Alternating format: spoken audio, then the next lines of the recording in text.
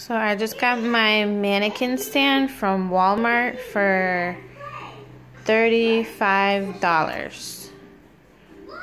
Please ignore the mess.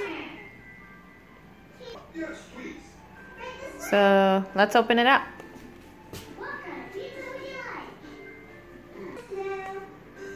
Now I'm gonna put it together. It has this thing here. You gotta twist it like this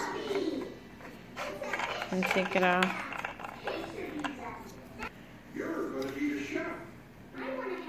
These pieces just slide in. It has three of them. There you go. I got them all on.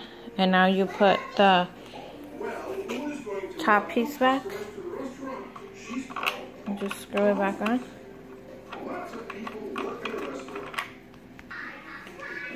There you go. Yay! Now let's take out the top piece. It's packaged really good and protected. And there you go. It is so easy to put together. I think it's a good looking piece. It's very lightweight, but I think if I put something weighted at the bottom, it will be just fine. But I absolutely love it.